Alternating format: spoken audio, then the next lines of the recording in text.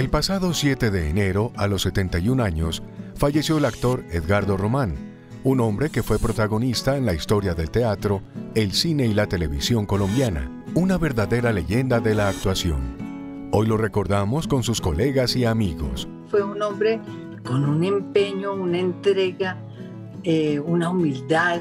De, de esas personas de las cuales uno puede decir que para llegar a ser un gran actor necesariamente se necesita ser una persona con convicciones.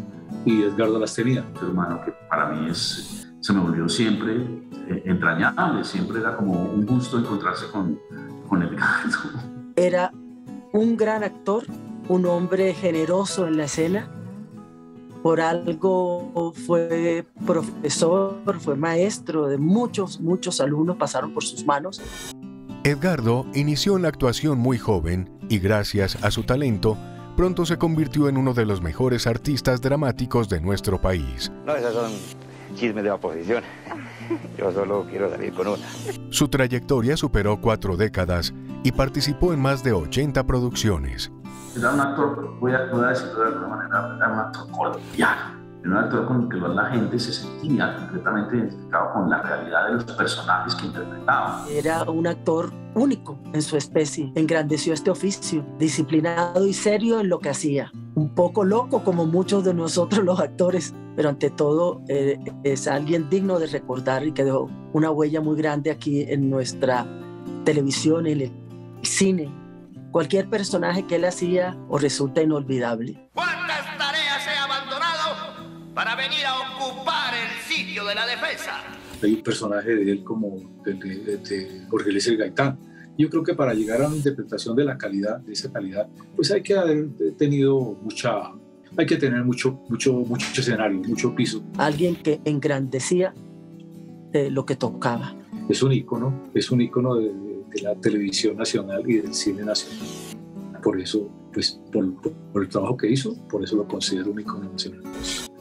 Edgardo Román, además de ser una eminencia en la actuación, fue un ser humano ejemplar que hizo las veces de madre y padre de sus amados Julián y Liliana, de quienes siempre se sintió absolutamente orgulloso.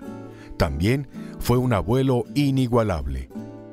Siempre le tuve mucha admiración como ser humano, porque fue un hombre guerrero eh, que levantó esos hijos, los, eh, les enseñó los valores, eh, hizo personas tan maravillosas como Liliana y como Julián, que es un ser humano que además de su inteligencia y su talento es de una calidad y de un sentido del humor y una inteligencia única.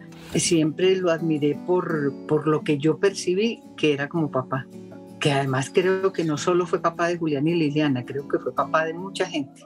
Otra de las grandes pasiones de este ícono de la actuación fue la pedagogía y a través de su fundación, Academia Actuemos, acompañó y guió el proceso de aquellos que quisieron formarse como actores.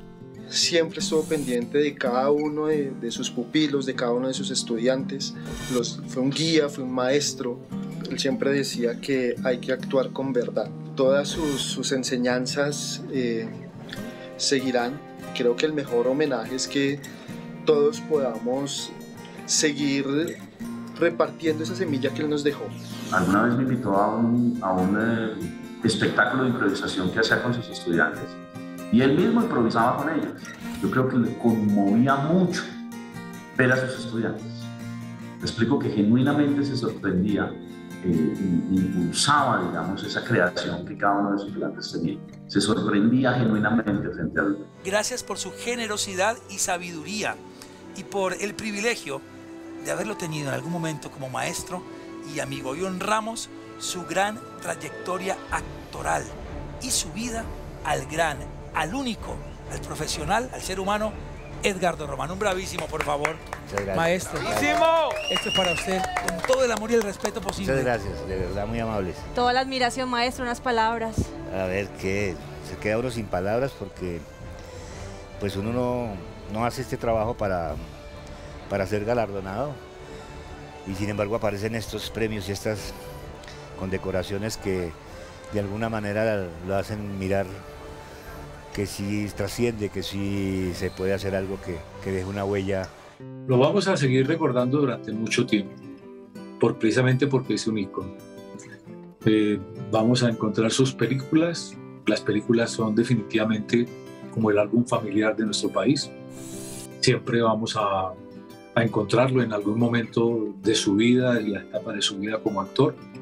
Y pues ahí lo vamos a recordar como el gran actor que fue los alumnos que tuvo pues, lo van a recordar como el gran maestro que fue, como un gran compañero, como una persona muy entregada al escenario, como un sujeto eh, dispuesto a, digamos, a entregar lo mejor dentro de una, dentro de una actuación, de un, sujeto con convicciones, un actor con formación, de un actor con inquietudes y con, con siempre con, con, esa necesidad de seguir experimentando y seguir encontrando eh, más... Eh, más medios para, para expresarse. Para su suerte y la nuestra, eh, Edgardo no se ha ido, se fue, se fue él corporalmente, pero todo su patrimonio de su talento y de todo su trabajo, por fortuna todavía queda y lo podemos tener, ver y aprender de él a través de, de todos esos materiales que, como estaba hablando antes, como el cine y la televisión. Hay muchas posibilidades. No sé qué tantas cosas de teatro